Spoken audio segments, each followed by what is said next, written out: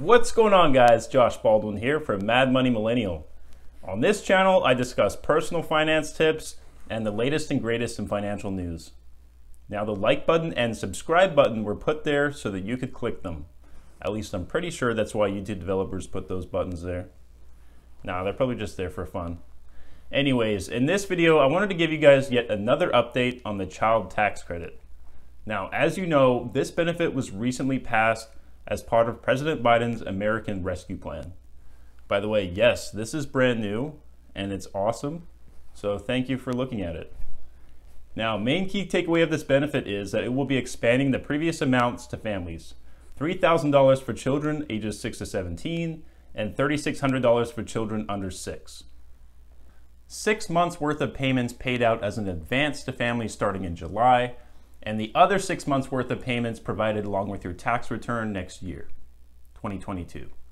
Now, if you want even more details about the child tax credit and you really want to dive deep into the nitty gritty, you can check out my first three videos where I break things down into a bulleted PowerPoint. And you simply can't get much more fancy than a PowerPoint, if you ask me. In this video, I wanted to focus on some of the ways you can use this child tax credit to its maximum potential. So let's say you have your child's meals covered, there's a roof over your head, you've got the rent covered, so you've pretty much got the bare essentials taken care of.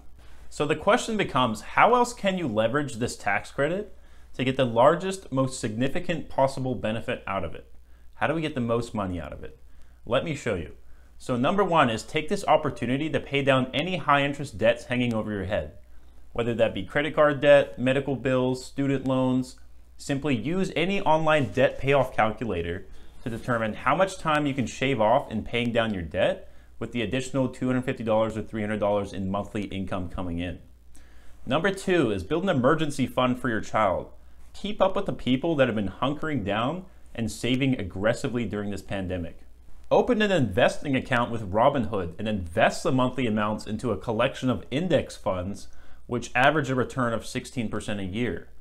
Or if you're adverse to all risk, you can at least put the money into a high yield savings account at a rate of 5 to 6% each year. Regular savings accounts are okay too, but I think of them as simply a safe place to temporarily store my money before I can invest it. Savings rates for typical bank accounts are pretty much negligible, so it's a lot smarter to invest any leftover money you have laying around. Remember, make your money work for you.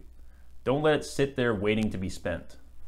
All right, number three is save for your child's college expenses. If you haven't started one already, a 529 college savings account is an excellent place to put that extra money.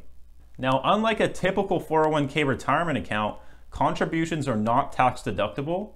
However, there are certain states that offer state income tax deductions, so you can check on that yourself. For example, in New York, couples filing jointly can deduct up to $10,000 of their 529 plan contributions. And that $10,000 of deducted income is potentially thousands of dollars back in your pocket at tax time. Just another way to leverage your money to its maximum potential. All right, guys, that was three ways to use your child tax credit to make even more money for you and your family. If you find these tips helpful and you want to support my channel, I do very much appreciate the smashing of the like and the subscribe button. Stay safe, stay hustling, and I will talk to you guys again soon.